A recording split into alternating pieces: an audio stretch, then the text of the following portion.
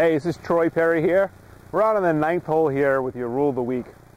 We see this scenario here quite often.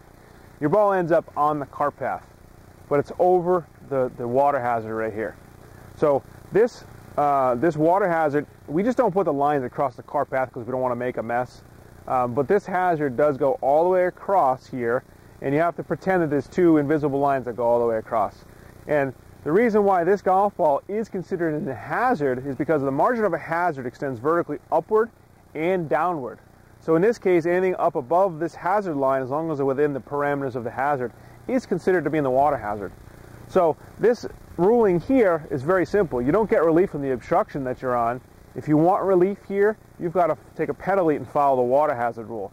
You could go, my ball rolled down the cart path, you could go two club lengths from where it last crossed the margin of the hazard right here. I can keep the point between me and the flag and go as far back as I want.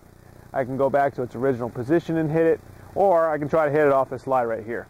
I don't think any of those are going to be a great option. I could try to go equidistant on the opposite margin of the hazard. That's probably not going to be a great option either. Me personally, I'd probably try to hit it off the cart path. That's my best option in this particular situation. But this is one of those uh, unique situations where you have to understand uh, the definitions of rule if you know definitions, which are in the front of the rules book, you're going to know a lot of the rules. If you don't know the definitions, you're going to have a heck of a time with the rules themselves. So again, margins of a water hazard extend vertically upward and downward.